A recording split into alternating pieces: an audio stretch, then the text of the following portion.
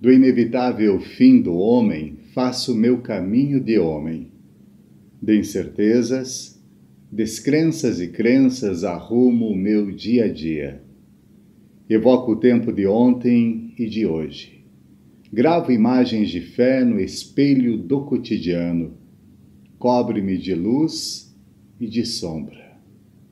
Arremesso o pensamento ao vento, colho a distância o indecifrável. Giro em torno de mim mesmo, tomba a luz dos olhos da noite. Amanhã, se houver amanhã, escreverei mensagens, mesmo que não sejam de amor. Hoje me basta a sobrevivência desse instante. Se houver amanhã, Poema de Orismar Rodrigues. Vale a pena ler. Aproveita e dá uma conferida também nesse outro poema.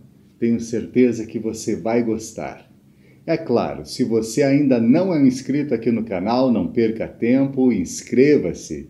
E se você já for inscrito, ajude a impulsionar esse vídeo deixando o seu like.